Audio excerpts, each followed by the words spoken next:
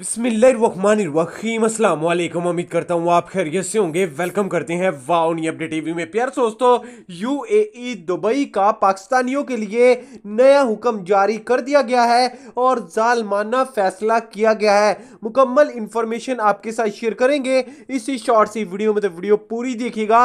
लेकिन दोस्तों, वीडियो को आगे बढ़ाने से पहले हम अपने चाहने वालों से एक रिक्वेस्ट तो लाजमी करेंगे। दोस्तों, वीडियो पसंद आने की सूरत में वीडियो को लाइक और आप अपने प्यार से हाथों से चैनल को सब्सक्राइब लाजमी कर लीजिएगा, ताकि जो भी छोटी से छोटी अपडेट्स क्यों ना हो, सबसे पहले हम आप तक पहुंचाते रहे। तो दोस्तों, बात करते हैं कि यूई हुकूमत की जानब से पाकिस्तानियों के लिए क्या नया हुक्मनामा जारी किया गया है। देखिए दोस्तों, अगर बात की जाए ओमिक्रॉन वायरस की तो इंडिया में इस टाइम 300 प्लस तक पहुँच चुका है। लेकिन पाकिस्तान में सिर्फ़ और सिर्फ़ अगर बात की जाए तो आठ केसेस नज़र आए लेकिन इंडिया के लिए जो विज़िट वीजे हैं, वो बंद नहीं किए गए और पाकिस्तानियों के लिए विज़िट वीजे पर मुकम्मल तौर पर पाबंदी आयद कर दी गई है।